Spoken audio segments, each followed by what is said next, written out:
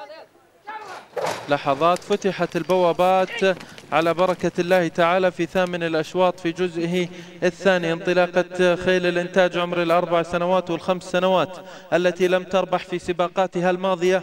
تنطلق من علامة ال 1800 متر خيل الإنتاج عمر الأربع والخمس سنوات. هنا الانطلاقة تبدأ مع عناية الرشيد ابن فلاشي بول.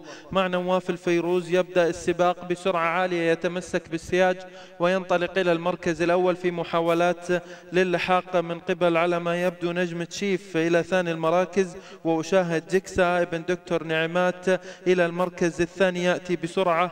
يحاول الانطلاق مع روبرتو بيريز فيما نشاهد كذلك أيضا التواجد لخصيمك إلى رابع المراكز ونشاهد تحرك لسيحان في المركز الخامس. الكاميرا المواجهة للجياد هنا نشاهد الانطلاقة إذا ابن ديباج المرشح الثالث يتقدم من الخارج إلى ثالث المراكز. والتحرك القوي من قبل سلاب على ما يبدو إذا من الخارج ضمن الأسماء المتصدرة. لا زالت الصدارة مع عناية الرشيد. يقود السباق في هذه الأثناء. يحاول الانطلاق التطابق هنا على المركز الثاني. هنا نشاهد أيضا أرناج إلى ثالث المراكز وسيحان من الخارج يحاول الانطلاق وكذلك المجموح سلاب من الخارج يحاول الانطلاق بقوة. إذا الأمتار الأخيرة. هنا نشاهد ال 400 متر الأخيرة عناية الرشيد.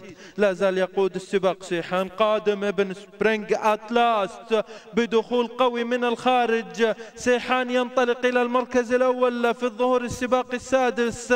صاحب أعلى تصنيف في هذا الشوط 73 درجة. يتصدر السباق يذهب إلى المركز الأول. الخمسين متر الأخيرة سيحان يسجل الفوز الأول في سجله السباقي ويغادر فئات الخيل التي لم تربح لإبراهيم نصيب الأخضر.